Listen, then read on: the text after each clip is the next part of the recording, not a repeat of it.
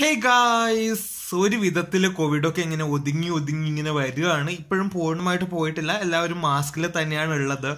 ഈ ഒരു അവസരത്തിലാണ് മറ്റൊരു വൈറസ് പുതിയൊരു വൈറസ് എമേർജ് ആയിട്ട് വരുന്നത് നമ്മുടെ ഭൂമിയിൽ സ്പ്രെഡായി തുടങ്ങുന്നത്. മങ്കി പോക്സ് ഈ ഒരു മങ്കി പോക്സ് എന്ന് പറയുമ്പോൾ പേര് കേൾക്കുമ്പോൾ തന്നെ ചിക്കൻ പോക്സും സ്മോൾ പോക്സ് കൗ പോക്സ് ഒക്കെ നിങ്ങൾക്ക് ഓർമ്മ വന്നേക്കാം. ഏകദേശം സിമിലർ ആയിട്ടുള്ള ഒരു കാറ്റഗറി തന്നെ വരുന്നതാണ്. വൈറസ് ആണ് ഈ ഒരു അസുഖം പടർത്തുന്നത്. വൈറസുകളാണ് ഇതിന് കാരണം.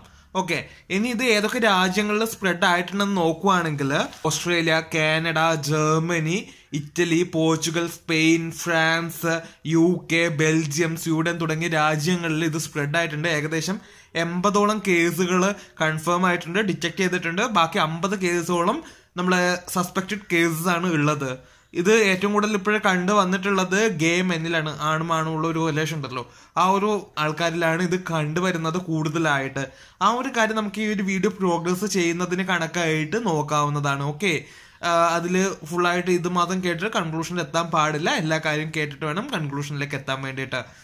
സോ ഈ ഒരു മങ്കി പോക്സിന്റെ ഉത്ഭവം അല്ലെങ്കിൽ ചരിത്രം നോക്കുകയാണെങ്കിൽ ആയിരത്തി തൊള്ളായിരത്തി എഴുപതിലാണ് മനുഷ്യന്മാരിൽ ആദ്യമായിട്ട് ഈ ഒരു മങ്കി പോക്സ് ഡിറ്റക്ട് ചെയ്യുന്നത് അല്ലെങ്കിൽ റിപ്പോർട്ട് ചെയ്യുന്നത് ആയിരത്തി തൊള്ളായിരത്തി അമ്പത്തി എട്ട് ആയിരത്തി തൊള്ളായിരത്തി അമ്പതിന്റെ അവസാനങ്ങളിലാണ് ഈ ഒരു മങ്കി പോക്സ് ആദ്യമായിട്ട് ഡിറ്റക്ട് ചെയ്യുന്നത്. ഓക്കെ എഴുപതിലും മനുഷ്യന്മാരിൽ ആദ്യമായിട്ട് ഡിറ്റക്ട് ചെയ്തു. മറ്റേ അമ്പത്തി എട്ടിൽ ആദ്യമായിട്ട് ഈ ഒരു മങ്കി പോക്സ് എന്ന അസുഖം ഡിറ്റക്ട് ചെയ്തു. ഇത് സംഭവം എന്താണെന്ന് വെച്ചിട്ടുണ്ടെങ്കിൽ നമ്മുടെ ഡെൻമാർക്കിൽ ഒരു റിസർച്ച് ലാബ് ഉണ്ടായിരുന്നു. അവിടെ പരീക്ഷണങ്ങൾക്കായിട്ട് വെച്ച് കുറച്ച് കുരങ്ങന്മാരിൽ ഒരു ദിവസം ഒരുപാട് കുമിളകൾ കാണുകയാണ്.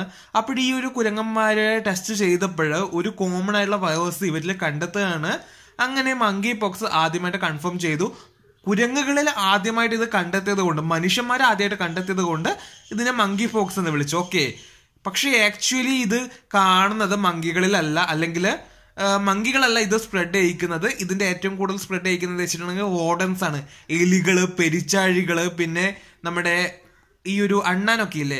അതൊക്കെയാണ്. ആഫ്രിക്കയിലാണ് ഇതൊക്കെ കണ്ടുവരുന്നത്. ഓക്കെ ആഫ്രിക്കയിലാണ് ഇത് ഇതിന്റെ ഉത്ഭവം എന്ന് നമുക്ക് പറയാം.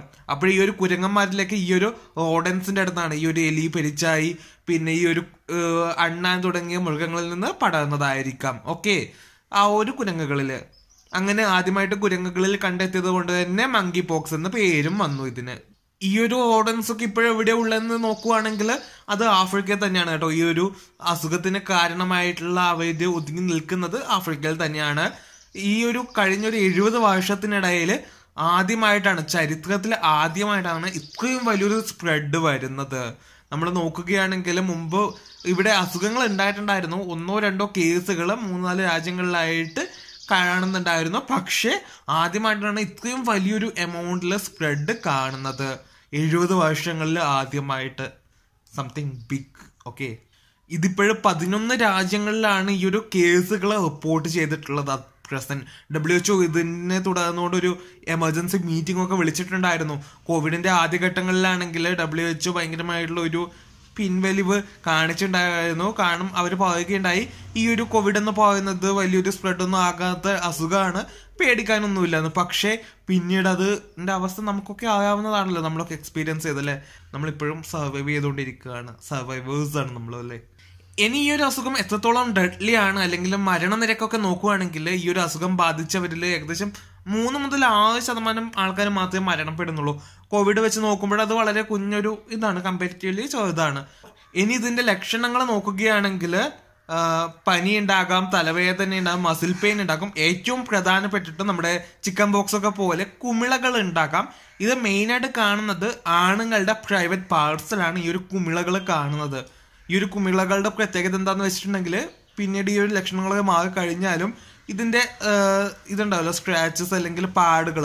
ലൈഫ് ലോങ് നിൽക്കുമെന്നാണ് ഇതുവരെ പറയുന്നത് ഓക്കെ ഈ ഒരു മങ്കി പോക്സിന്റെ വൈറസ് മനുഷ്യന്മാരിൽ കടന്ന ഒരു പതിനഞ്ച് പതിനാറ് ദിവസമൊക്കെ കഴിയുമ്പോഴാണ് സിംറ്റംസ് ലക്ഷണങ്ങൾ കാണിച്ചു തുടങ്ങുന്നത്.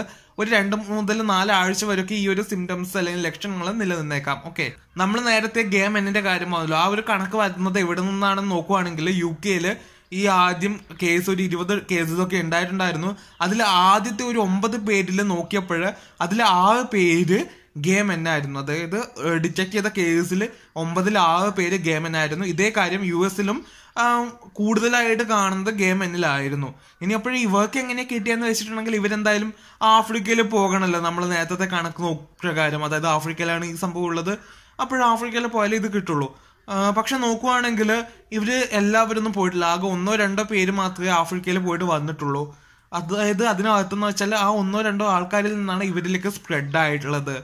അപ്പോൾ ആ ഒരു സ്പ്രെഡിങ്ങിന്റെ വെയിറ്റ് ആണ് നമ്മൾ അവിടെ ആലോചിക്കേണ്ടത് കേട്ടോ. ഇപ്പോഴും ഇത്രയും കേസ് വന്നു. അപ്പോഴും എത്രത്തോളം അൺഡിറ്റക്റ്റഡ് ആയിട്ടുള്ള കണ്ടെത്താത്ത കേസസ് ഉണ്ടാകും എന്നതും നമ്മൾ ചിന്തിക്കേണ്ട ഒരു കാര്യമാണ്. ഇനി ഈ ഒരു അസുഖം എങ്ങനെയാണ് സ്പ്രെഡ് ചെയ്യുന്നത് അല്ലെങ്കിൽ പകരുന്നത് എന്ന് നോക്കുവാണെങ്കിൽ ഈ ഒരു ഓർഡൻസിൽ നിന്ന് എലി പെരിച്ചായി അല്ലെങ്കിൽ അണ്ണാൻ തുടങ്ങിയ മൃഗങ്ങളിൽ നിന്ന് എങ്ങനെയാണ് സ്പ്രെഡ് ചെയ്യാൻ നോക്കിയാൽ ഒന്നുകിൽ അത് കടിക്കണം അല്ലെങ്കിൽ അതിന്റെ ദേഹത്ത് തൊടുമ്പോൾ അല്ലെങ്കിൽ അതിന്റെ ബോഡി ഫ്ലൂയിഡ്സോ രക്തമോ അല്ലെങ്കിൽ മൂത്രമൊക്കെ ആയിരിക്കാം ഉദ്ദേശിക്കുന്ന ബോഡി ഫ്ലൂയിഡ് കൊണ്ട് അതൊക്കെ നമ്മുടെ ദേഹത്തേക്ക് തട്ടുമ്പോൾ അല്ലെങ്കിൽ പിന്നെ അതിനെ വലിയ കാര്യമായിട്ട് പാകം ചെയ്യാതെ പാചകം ചെയ്യാതെ നമ്മൾ കഴിക്കുമ്പോൾ അൺകുക്കായിട്ട് അല്ലെങ്കിൽ പ്രോപ്പറായിട്ട് കുക്ക് ചെയ്യാതെ കഴിക്കുമ്പോഴൊക്കെ നമ്മുടെ ശരീരത്തിലേക്ക് ഈ ഒരു വൈറസ് കടക്കാം എന്നൊക്കെ നിഗമനമുണ്ട്.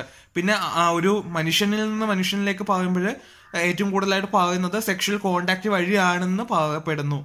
ഈ ഒരു ആഫ്രിക്കയിൽ പോയിട്ട് വന്നിട്ടുള്ള ഒന്ന് രണ്ട് പേര് ഇവിടെ നാട്ടിലെത്തിയപ്പോഴും അൺഡിറ്റക്റ്റഡ് ആയിരുന്നു. അതായത് ലക്ഷണങ്ങൾ ഒരു പതിനഞ്ച് പതിനാറ് ദിവസമൊന്നും കാണിക്കില്ല. പിന്നീട് ലക്ഷണങ്ങൾ പതിയെ പതിയെ കാണിച്ചു തുടങ്ങും. ഈ ഒരു സമയത്ത് ഇവർ സെക്ഷൽ കോണ്ടാക്റ്റിലോ അല്ലെങ്കിൽ സെക്ഷൽ ഇന്റർ കോഴ്സിലോ ഒക്കെ ഏർപ്പെട്ടിട്ടുണ്ടാകും. ഈ ഒരു സമയത്തായിരിക്കും ഇത് സ്പ്രെഡ് ചെയ്തിട്ടുണ്ടാകുക. ഇപ്പോഴും ഒരുപാട് കേസുകൾ അൺഡിറ്റക്റ്റഡ് ആയിട്ട് കണ്ടുപിടിക്കാതെ കിടക്കുന്നുണ്ട് എന്ന് നമുക്ക് മനസ്സിലാക്കാൻ സാധിക്കും ഇതിൽ നിന്ന്. ഇനി യു കെയിൽ ഈ ഒരു മങ്കി പോക്സിനെതിരെ എന്താണ് ചെയ്യുന്നത് നോക്കുവാണെങ്കിൽ സ്മോൾ പോക്സിന്റെ വാക്സിൻ കൊടുക്കുവാണ്. മങ്കി പോക്സിന് ഇതുവരെ ആയിട്ട് ഒരു വാക്സിനും ഒരു മരുന്നൊന്നും കണ്ടെത്തിയിട്ടില്ല. എനിക്ക് തോന്നുന്നില്ല ഇത് വലിയൊരു സ്പ്രെഡ് ആകാതെ ഇതിനൊരു മരുന്ന് കണ്ടെത്തുമെന്നും. അതായത് റിസർച്ചുകളൊക്കെ നടത്താൻ അത്യാവശ്യം എക്സ്പെൻസും വളരെ കുറച്ച് പേർക്കുള്ള ഒരു അസുഖമാണെങ്കിൽ വലിയ കാര്യമായിട്ട് റിസർച്ച് ഒന്നും നടത്തില്ല. അപ്പോൾ ഈ ഒരു ലക്ഷണങ്ങൾ ഉള്ളവർക്ക് ഇപ്പോഴ് സ്മോൾ പോക്സിന്റെ വാക്സിനാണ് നൽകുന്നത്. പ്രത്യേകിച്ച് ഗെയിമിലെ വാക്സിനേഷൻ ക്യാമ്പയിൻ പോലെ സ്റ്റാർട്ട് ചെയ്യാനുള്ള പദ്ധതികളും ഉണ്ട്. നമ്മൾ നേരത്തെ പറഞ്ഞല്ലോ ആണുങ്ങളുടെ പ്രൈവറ്റ് പാർട്സിലാണ് ഈ ഒരു കുമിളകളെ കൂടുതലായിട്ട് കാണുന്നതെന്ന്. അതുകൊണ്ട് തന്നെ ഇവർ ഹോസ്പിറ്റലിൽ പോയിട്ട് കാണിക്കാൻ വേണ്ടി ഇത്തിരി മടിച്ചു നിൽക്കും. അതുകൊണ്ട് തന്നെ എത്രത്തോളം ആൾക്കാർ ഈ ഒരു ചികിത്സ തേടുമെന്ന കാര്യത്തിൽ സംശയമുണ്ട്. ഇതും ഈ ഒരു കാര്യത്തിന്റെ ഭീതി വർദ്ധിപ്പിക്കുന്നു. കാരണം ആൾക്കാർ ഇത് ടെസ്റ്റ് ചെയ്തില്ലെങ്കിൽ അല്ലെങ്കിൽ റിപ്പോർട്ട് ചെയ്തില്ലെങ്കിൽ വീണ്ടും വീണ്ടും സ്പ്രെഡിങ് കൂടിക്കൊണ്ടിരിക്കും. അപ്പോൾ ഒരു അവയർനെസ് ഉണ്ടാക്കേണ്ടത് അത്യാവശ്യമായിട്ടുള്ള കാര്യമാണ്. ഇനി നമ്മൾ ഇന്ത്യയിലേക്ക് വരികയാണെങ്കിൽ ഇന്ത്യയിൽ ഇതുവരെ ഒരു കേസും റിപ്പോർട്ട് ചെയ്തിട്ടില്ല. നമ്മുടെ ഏഷ്യയിൽ തന്നെ സിംഗപ്പൂർ പോലുള്ള രാജ്യങ്ങളിൽ ഒരു കേസൊക്കെ മുമ്പ് റിപ്പോർട്ട് ചെയ്തിട്ടുണ്ട്. പക്ഷെ ഇത്തവണ സിംഗപ്പൂരിലും റിപ്പോർട്ട് ചെയ്തിട്ടില്ല. ഈവൻ ആഫ്രിക്കയിൽ പോലും ഇത്തവണ കേസ് റിപ്പോർട്ട് ചെയ്തിട്ടില്ല. അതായത് വെസ്റ്റേൺ കൺട്രീസിലാണ് ഏറ്റവും കൂടുതൽ കേസ് ഇപ്പോഴും റിപ്പോർട്ട് ചെയ്ത് കിടക്കുന്നത്. അല്ലെങ്കിൽ അവിടെയാണ് ഇത് ഒന്ന് സ്പ്രെഡായി കിടക്കുന്നത്. പക്ഷേ ആൾക്കാർ അങ്ങോട്ടും ഇങ്ങോട്ടും ട്രാവൽ ചെയ്യാണ് സ്പ്രെഡ് ചെയ്യാനുള്ള ചാൻസസ് ഉണ്ട്. അപ്പോൾ ആർക്കെങ്കിലും എന്തെങ്കിലും ലക്ഷണങ്ങൾ ഉണ്ടെങ്കിൽ കൊണ്ടുപോയി കാണിക്കുക ഹോസ്പിറ്റലിൽ മടിച്ച് നിൽക്കരുത്. സോ ഇത്രയൊക്കെയാണ് ഇന്നത്തെ വീഡിയോ മറ്റൊരു വീഡിയോയിൽ മറ്റൊരു വിഷയമായിട്ട് കാണുന്നവരെ സൈനിങ് ഓഫ് റിസ്ക്രാജ് ബബായ് പിന്നെ ഈ ഒരു ബാക്ക്ഗ്രൗണ്ടില്ലേ കരണ്ട് ഇല്ല കേട്ടോ. നോയ്സ് ഇത്തിരി ഉണ്ടാകും. സോ